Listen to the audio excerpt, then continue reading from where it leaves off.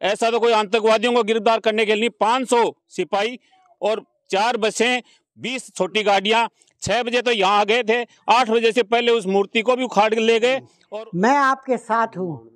किसी भी सीमा तक जाने के लिए, इस बात के लिए हम लड़ेंगे। कोई भी सीमा यदि होगी तो उसके लिए लड़ेंगे। और अभी जाते वक्त श्रीमान कलेक्टर साहब को भी कह के जाऊँगी, इसके लिए झुंझुनू बंद करना पड़े तो झुंझुनू भी बंद करेंगे और ये उरे का जो भी जनप्रतिनिधि और जो प्रशासन है उनकी दलित समाज के प्रति कोई हमदर्दी नहीं है। और यहाँ के संबंधित जो विधायक है वो उस विधायक से हम इस्तीफे की मांग करते हैं कि बाबा साहब डॉक्टर भीमराव अंबेडकर का आपने स्टैचू तुड़वाने का काम कैसे किया? अतिक्रमण देखो ये छड़ी की दो भैंसड़ी बाँध अतिक्रमण देखो की है एक एक वोट मारे नाम माते पड़े। राजनीति और गुंडई में फ़र्क होया करे। कैलाश गैंग में आने चाहे मैं की भी करूँ हुकुम पूरी वेब सीरीज़ देखने के लिए डाउनलोड करें स्टेज ऐप। राम राम जी नमस्कार। मेरा नाम है अरुण थे देख रहे हो जलको झुंझुनू। जलको झुंझुनू में तारा बहुत बहुत स्वागत है और आज हमें पहुँचे हाँ। झुंझुनू के दोरासर गाँव के अंदर। मुतानबे रहे कि दोरासर के अंदर जो कोई मुद्दों चल रहे कि प्रशासन के द्वारा कुछ अतिक्रमण के नाम पर कुछ हटाया गया और साथ में जगह बाबा साहब की जगह अंबेडकर की मूर्ति जगह ही बिन भी जो वो खंडित करने को जो आरोप है गाँव लगाए हो। और आज हम बता दूँ कि उरे से सुमित्रा सिंह जी जगह की पूर्व विधानसभा अध्यक्ष हा और नौ बार झुंझुनू से विधायक बना रहा हा। उरा आया ही और पूरा मामला लेके अ, पूछताछ बना करी कि पूरा मामलो भी चीज़ आगे ले जाके भी बस अभी बातचीत करांगा कि बाकी मामलों के समझ में आयो है और के बनकर द्वारा जो सहयोग है, वो गाँव वाला मिलोगो तो वीडियो शेयर ज़रूर कर देना और लास्ट तक देखना है। आपके जगह नहीं थी तो तो जिस बात के लिए एसडीएम साहब ये कह रहे हैं, उस बात के लिए एसडीएम साहब से फिर हमने अनुरोध किया तो उन्होंने कहा कि ये मेरा विषय नहीं है, ये पंचायत राज का विषय है, आप उनसे बात कीजिए। जिला परिषद में जब उनके पास राठौड़ साहब का फ़ोन आया तो उन्होंने कहा कि मुझे मेले में जाना है, हमने गाड़ी उनके सामने लगाई, बोले, मेले में बाद में जाइए, आप ये बताइए, इसमें आप प्रस्ताव कलेक्टर साहब को दे रहे हो या नहीं दे रहे हो? तो बोले, मैं अभी दे देता हूँ। उन्होंने शाम को हमें प्रस्ताव दिया और हम और सरपंच जी, अर्जुन जी, उस कलेक्टर साहब के पास गए तो उन्होंने कहा, मैं उससे मतलब शिक्षा विभाग से परमिशन ले लेता हूँ। और आपको वहाँ ये यथास्थिति पंचायत भवन वहाँ चलेगा और वो हम आप दलित परिवार के लिए और उनके काम के लिए वो ज़मीन को कर देंगे। ये कलेक्टर साहब ने आश्वासन दिया था। उसके बाद में सुबह जब दूसरी बार गए, दो दिन बाद में यहाँ प्रशासन आया है और इनको वो फ़ोटो भी हैं जो अखबारों में छपी हैं। दलित महिलाएँ कह रही हैं ज़मीन बोले, हम तो कोई पशु वशु बाँध लेते हैं, हमारे गरीब लोग हैं। तो बोले बोलो क्या ज़रूरत है? हटाओ इसको। सोलह तारीख को इन्होंने फोर्स मांग रखी थी। सोलह को तो आए नहीं है और सोलह को हमने फिर रिक्वेस्ट की है और कलेक्टर ने हमें दस मिनट तक वो बातें कही। बोले विजेंद्र ओला कहो कि वो भाषा क्यों बोल रहे हो? हमने खूब उनके साथ झाड़ा जिगदी की है। आप जो विजेंद्र बोल रहा है वो क्यों बोल रहे हो? आप ये बताओ, गुना क्या है? पंचायत को सब पावर है। जब पंचायत को बॉडी है फुल अपने आप में तो आप इस बात के लिए पंचायत के लिए अलॉटमेंट नहीं है क्या? कोई दुनिया में बता दो पंचायत के एनओसी के बिना और इस गाँव ने तो सैनिक स्कूल को और खेल परिषद के लिए और यहाँ जो सौर्य उद्यान के लिए इन्होंने इतनी ज़मीन दी है, आप इस गाँव के लिए इतनी ज़मीन के लिए क्यों पीछे पड़े हुए हो? तो उन्होंने कहा, कुछ नहीं, मैंने कार्रवाई के लिए कह दिया है, हमने निर्णय ले लिया है, हमारे ऊपर मंत्री जी का दबाव है, ये कलेक्टर साहब के वर्ड थे। और बोले, हम कुछ नहीं मानेंगे, हम एसडीएम साहब को फ़ोन करते रहे, वो नहीं मिले, कलेक्टर को हाउस एसडीएम को कहो, वो फ़ोन उठाए। तब वो आया वहाँ और ये बोला कि या तो उस मूर्ति को उखाड़ लो, वरना तो हमें वो हालत करेंगे जो आप देख नहीं पाओगे और उन्होंने वही हालत की जो देख नहीं पाए। और सुबह छः बजे शायद ऐसा तो कोई आतंकवादियों को गिरफ़्तार करने के लिए 500 सिपाही और चार बसें, बीस छोटी गाड़ियाँ छः बजे तो यहाँ आ गए थे, आठ बजे से पहले उस मूर्ति को भी उखाड़ ले गए और इनको भी पीटा और पंद्रह लोगों को, एससी के लोगों को और अर्जुन जी को गिरफ़्तार करके ले गए। हमने कहा कि हम थाने का घेराव करेंगे तो इनको दो बसों में भर के और गुड्डा ले गए। पूरे दिन इनको घुमाते रहे और हमने कलेक्टर साहब से मिले कलेक्टर साहब को आपको वो सुना देते हैं। कलेक्टर साहब ने क्या जवाब दिया? कुछ नहीं बोलो। मैं नहीं वो लगने दूँगा मूर्ति तोड़ दी बोले हमने। ये आपको सुना दें उनकी।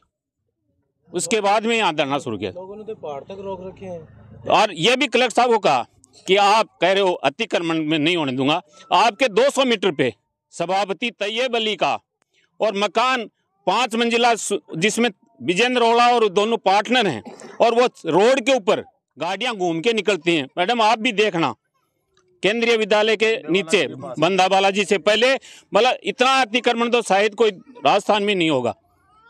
जिसने रोड के ऊपर पाँच मंजिला मकान बना रखा है जिसमें पचास दुकानें हैं और रोड के ऊपर उसकी सीढ़ियाँ हैं वो डामर के सड़क पर खुलती हैं। और भविष्य में टूटेगी वो एकदम मेन रोड पे है साहब। एकदम से मतलब। और ये बात चाहे जहाँ शिकायत कर ली नगर परिषद में कर ली कलेक्टर में कर ली सब जगह कहा। इन गरीबों के लिए आप इनके पीछे पी क्यों पड़े हुए हो? तो कुछ नहीं बोले हमने तो कर दिया। आप जानो वो आप करो हमने करना था वो कर दिया। मैं ये कह रहा हूँ कि जितने भी यहाँ पे जनप्रतिनिधि सर्वे समाज के लोग आए हुए हैं मैं यहाँ का हूँ। आप एक बार जाकर देख लो एक अगर पक्की ईंट भी आप दिखा दो इस ज़मीन में हमारी लगाई हुई। उनको तो ये भी खाली कोई कोई अतिक्रमण नहीं था। सिर्फ़ दो भैंसे बाँध रहे थे। छड़ी दो भैंसे बाँध देते दिन में। रखा था।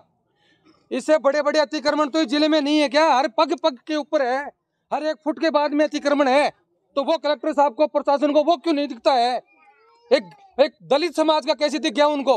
हम तो घसीट के ले गए हैं। हमारी बहन बेटियों के साथ सालों दिन अत्याचार किया है उनका कपड़े फाड़े उनके। हैं उनके चूड़े झाड़ और उन्होंने कलेक्टर साहब ने कहा कि विकास अधिकारी ने हमसे जाब्ता मांगा है। तब उन्हें कहा कि विकास अधिकारी, हमने ज़रूर कोई संसदीय भाषा हमने भी बोली है कि विकास अधिकारी के बाप की ज़मीन है कि वो पंचायत की ज़मीन है, उसमें सरपंच निर्णय लेगा। कौन होता है विकास अधिकारी? और जो विकास अधिकारी के ग्राम सेवक को चार्ज देखा वो विकास अधिकारी क्या करता है? वो मतलब जो धमकियाँ दे रहा है कि सिलेंडर हो जाओ मेरे आगे। दिखाते वीडियो दिखा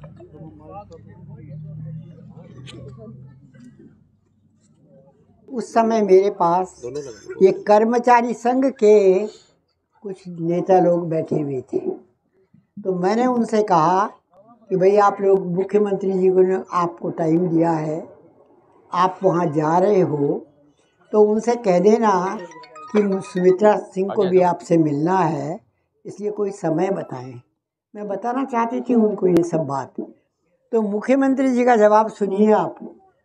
उन्होंने कहा, अरे, मुझे तो सुमित्रा जी के घर जाना पड़ेगा और वहाँ जा कर के पूछूँगा उनसे, इसलिए उन्हें यहाँ आने की आवश्यकता नहीं है। ये कहा मुख्यमंत्री जी ने। और अब मैं जाऊँगी, तब मैं ज़बरदस्ती वहाँ पे उनके घर जाऊँगी।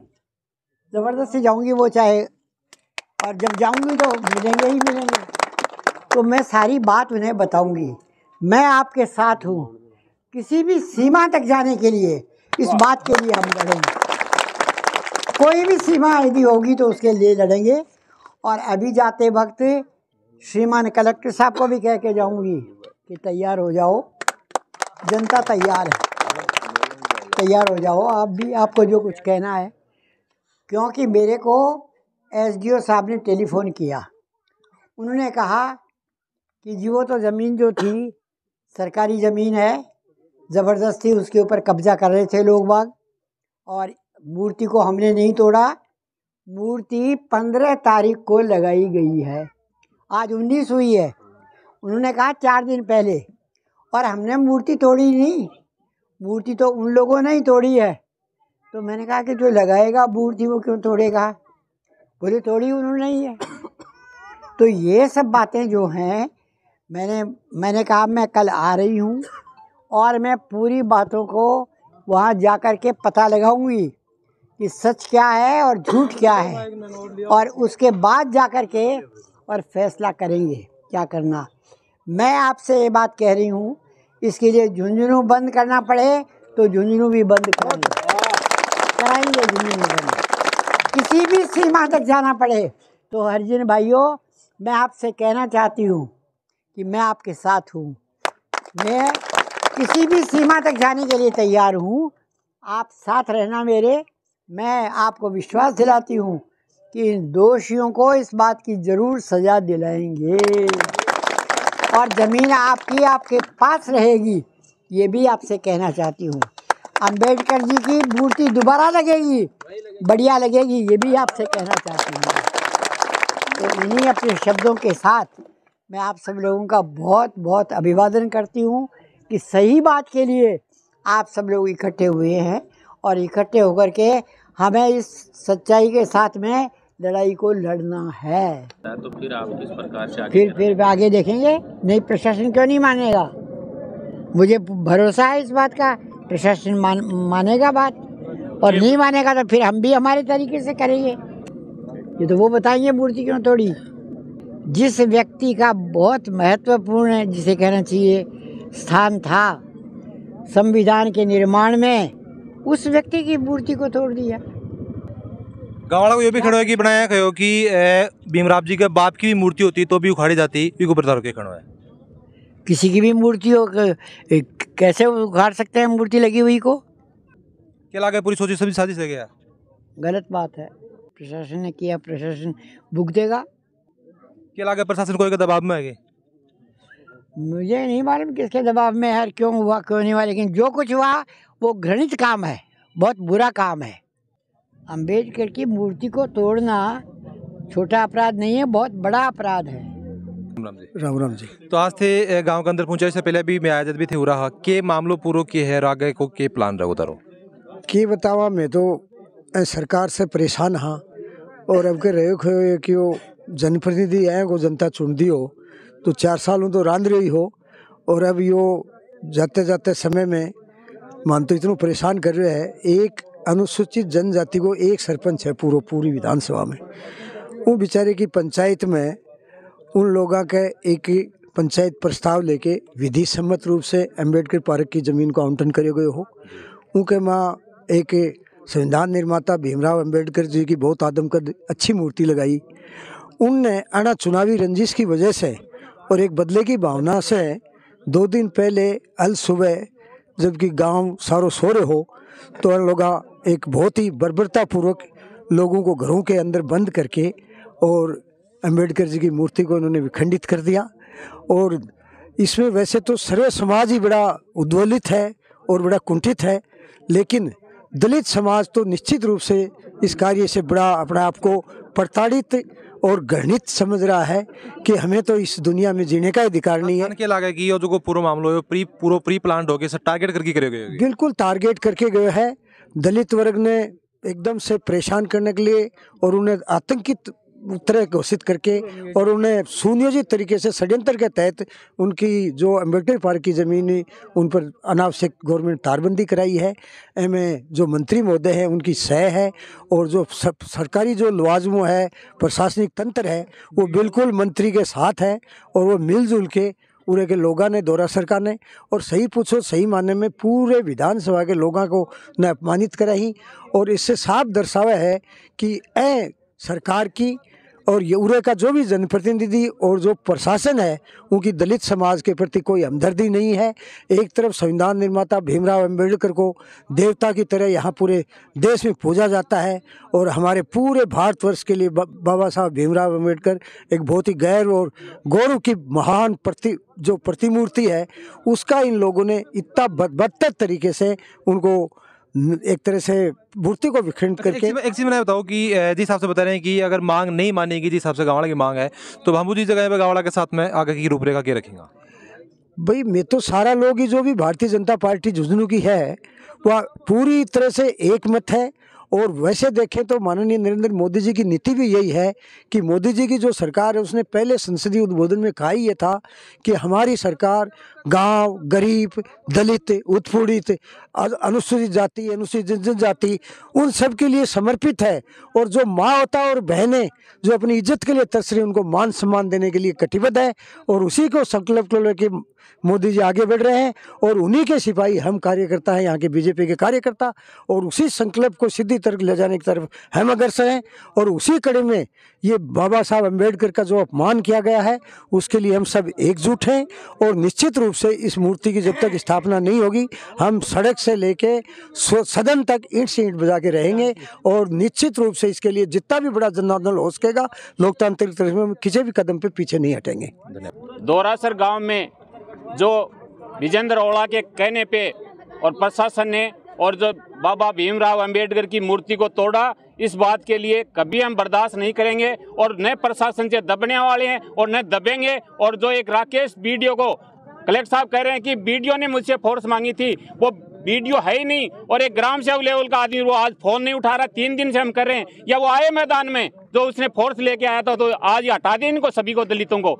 इस बात के लिए हम पुरजोर से, उस प्रशासन से मांग करते हैं, उस मंत्री को भी, जब तक बर्खास्त नहीं हो जाएगा, तब तक हमें इस बात की, जहाँ अंबेडकर जी की मूर्ति नहीं लग जाएगी, तब तक ये संघर्ष जारी रहेगा। न किसी कलेक्टर से दबते हैं, न किसी बीडीओ से दबते हैं, न मंत्री से दबते हैं, ये कहना चाहते हैं हम। मुर्दाबाद मुर्दाबाद। विजेंद्र रोड़ा मुर्दाबाद। मुर्दाबाद मुर्दाबाद। विजेंद्र रोड़ा मुर्दाबाद मुर्दाबाद। दोरासर गाँव में परसों सुबह सुबह प्रशासन ने 400-500 पुलिस कर्मियों के साथ यहाँ पहुँचे। तो ऐसे पहुँचे हैं जैसे कोई यहाँ कोई आतंकवादी छिपा हुआ है। ये दलितों की कॉलोनी है। यहाँ अंबेडकर बाबा अंबेडकर साहब की मूर्ति लगी हुई थी। उस मूर्ति को उन्होंने आते ही खंडित किया। यहाँ गरीब लोग बाहर निकले तो महिलाओं के, बच्चों के, उनके साथ मारपीट की, बड़ा अभद्र व्यवहार किया और कोई भी नौजवान बाहर आया तो उसको घसीट के और लात मुक्के मार के गाड़ियों में यहाँ से ले गए चौदह पंद्रह आदमियों को ले गए। पूर्व सरपंच अर्जुन जी महिला उनको भी साथ ले गए और ले जाके थाने में भी नहीं उन्होंने। पता नहीं कहाँ कहाँ घुमाया।